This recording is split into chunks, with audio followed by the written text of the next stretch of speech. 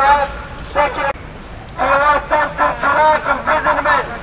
When he was testifying to the court, he started off telling about how severely he was tortured, starting from the sexual abuses to a disabled man, and how badly he was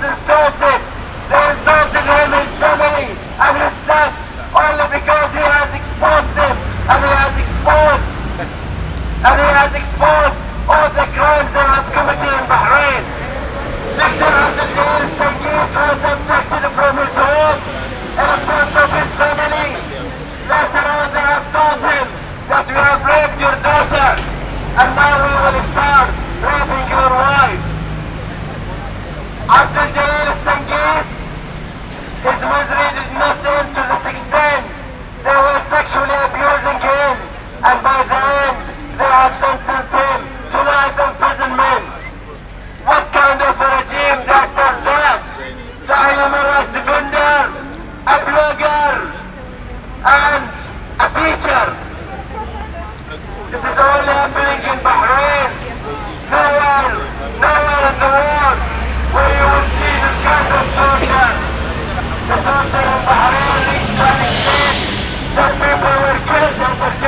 because of that torture.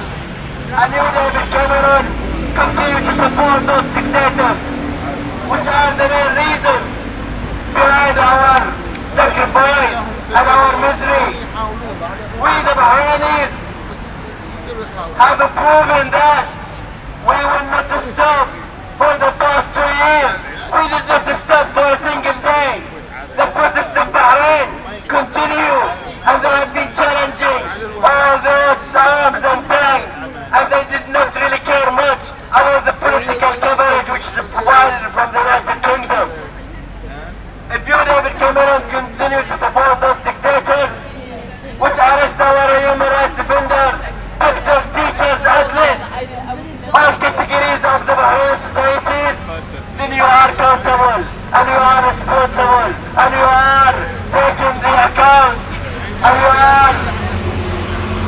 Anywhere, any reason.